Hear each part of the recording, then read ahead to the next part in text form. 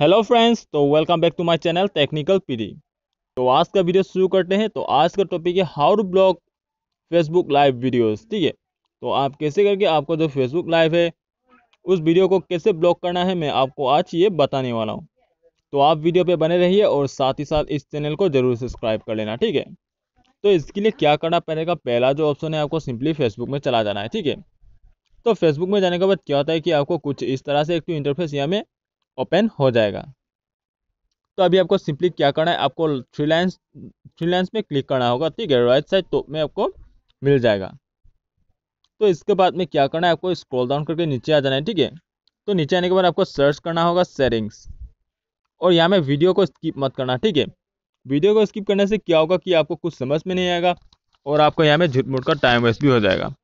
क्योंकि मैं ये ये वीडियो बना रहा हूँ कि ये वीडियो देखने के बाद आपको दूसरा वीडियो देखने के लिए ज़रूरत नहीं होगा, ठीक है? तो आप यह वीडियो को फुल ही देखना, ठीक है? तो सेटिंग्स में क्लिक करने के बाद क्या होता है कि आपको स्क्रॉल डाउन करके नीचे आ जाना है, ठीक है?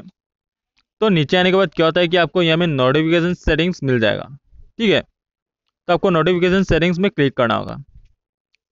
तो नोटिफिकेशन में क्लिक करने के बाद आपको क्या करना है, मैं बता दूँगा।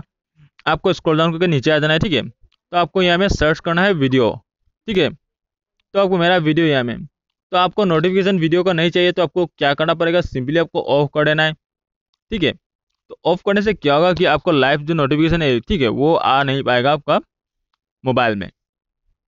तो यही है आज का प्रोसेस तो आशा करता हूँ ये वीडियो आपको हेल्पफुल हुआ होगा। हेल्पफुल हुआ है तो प्लीज़ वीडियो को लाइक और सब्सक्राइब ज़रूर करना, ठीक है? तो मिलते हैं अगले वीडियो में। Thanks for watching